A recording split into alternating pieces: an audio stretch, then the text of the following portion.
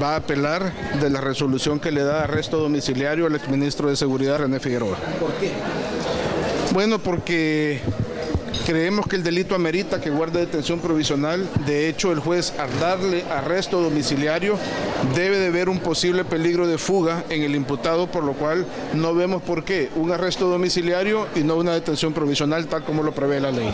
Así confirmó el fiscal general Raúl Melara que el Ministerio Público solicitará al juez tercero de paz la nulidad del arresto domiciliar del exministro de Seguridad René Figueroa quien es acusado por los delitos de lavado de dinero y activos, por supuestamente no justificar 3 millones de dólares de su patrimonio. En ese sentido, pidió al sistema judicial ser más estricto con las medidas que decretan a imputados involucrados en posibles casos de corrupción.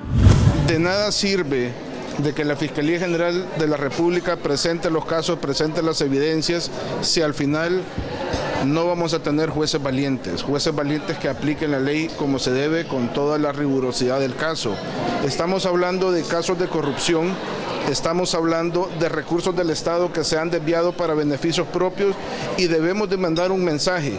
Pero esto no solo lo puede hacer la Fiscalía General, necesita de la voluntad también del órgano judicial para hacer un acompañamiento. Criticó además que en casos como en el que está siendo procesado José Adán Salazar por no justificar 508 millones de dólares, los jueces impiden el acceso a la prensa a la sala de audiencia consideró que la FGR únicamente pone reserva a los casos relacionados con menores de edad o para proteger la integridad física de las personas.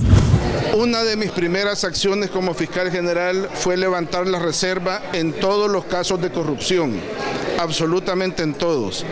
Es lamentable que se les restrinja el acceso a la prensa para conocer la verdad de qué es lo que está sucediendo en todos aquellos casos que son de trascendencia nacional.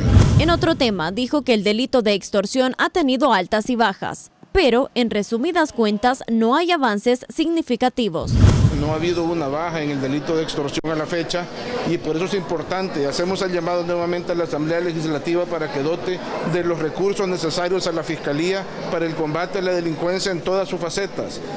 Eh, es importante que si se le exige a la Fiscalía cada vez mejores resultados, si se le dan cada vez más obligaciones, se doten de los recursos necesarios para poder afrontar el fenómeno, el fenómeno de la delincuencia. Con imágenes de Héctor Salazar para el noticiero Lidia Magaña.